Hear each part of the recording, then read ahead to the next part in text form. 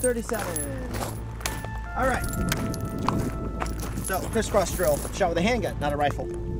Uh, starting in body, two alphas, up to the head, Alpha Charlie, down in the body, two alphas, up to the head, Alpha Charlie, back to the body, two alphas, up to the head, two Charlies.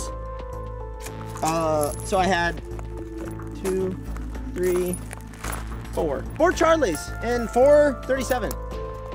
What is that? That's like a GM XXL, right?